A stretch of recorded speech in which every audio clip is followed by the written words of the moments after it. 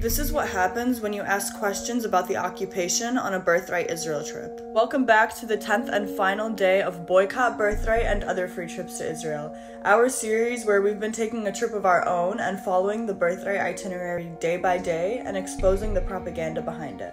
So, yesterday was actually the last day of the Birthright Israel itinerary, but I wanted to use today to really drive the point home that the solution to all of this is to boycott Birthright because when you challenge the occupation on these trips, you'll see what happens. I'm going to be talking about Emily Block's story. She posted this in 2018 and she's a former birthright goer. Emily describes her experience on birthright and particularly mentions how she felt when driving by the apartheid wall, which she refers to as the separation wall in this article, but that's a very light way to put apartheid, but baby steps, I guess. Anyway, so she asks one of the tour guides a question about the apartheid wall, and she says that in response, he wouldn't or couldn't say anything about Palestinians' experience on the other side. And he even claims that legally, Israel never occupied Palestine, which is completely false. I mean, when she went on Birthright, when she published this article, and at the time you're watching this video, Israel is actively occupying Palestine. If you've been following this series, this probably isn't surprising to you because you know that birthright trips are filled with propaganda, lies, and false narratives,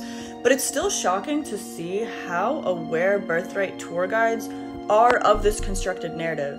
I mean, if they didn't know, why else would they stop another participant from recording and even going so far as taking their phone and deleting the footage? It's because they have something to hide, and that something is 75 years of ethnic cleansing and occupation, and they are fully aware of it. So, how does the story end? Do birthright goers finally learn the truth about the occupation because one of them decided to ask a question about it?